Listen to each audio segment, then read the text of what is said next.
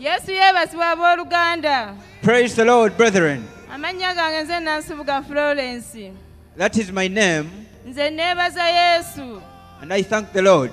ne pastor jackson senyonga okutusabiranga I also thank Pastor Jackson Senyonga for, for praying for us. era neebaza yesu okumponya omutwe n'ekivundu I thank God for healing me of a headache and of a, a bad smell, oluvannyuma lw'okugenda mu bannabbi b'obulimba ku bbiri which I, got, which I got from the false prophets at Kubiri.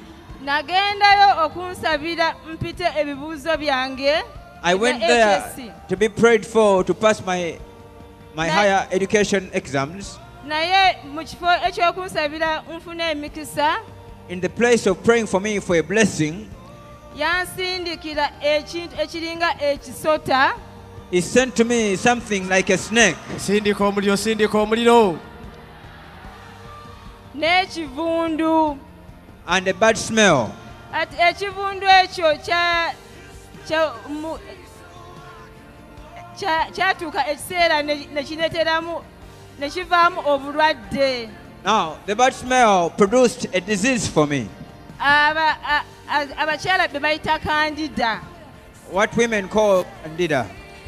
nengendanga mu ddwaliro ne mpanga sente ne- ne- nengendanga mu ddwaliro ne neekebeza buli kimu naye nga abasawo bagamba tebalaba bulwadde I went to the hospital, I took money, they couldn't find the disease.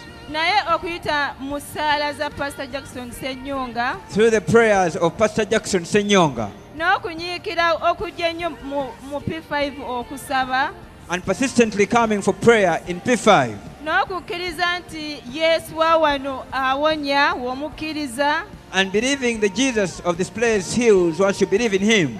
bannange nawonyezebwa I was healed. kubira yesu engalo ez'amaanyi I was healed. ekitiibwa n'ettendo nkiddiza yesu I give the glory back to the Lord.